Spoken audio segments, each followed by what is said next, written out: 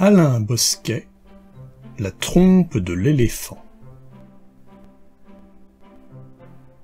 La trompe de l'éléphant, c'est pour ramasser les pistaches.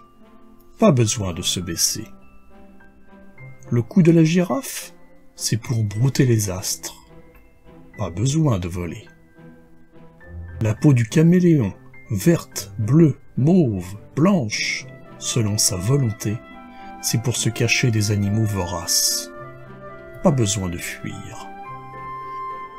La carapace de la tortue, c'est pour dormir à l'intérieur, même l'hiver. Pas besoin de maison.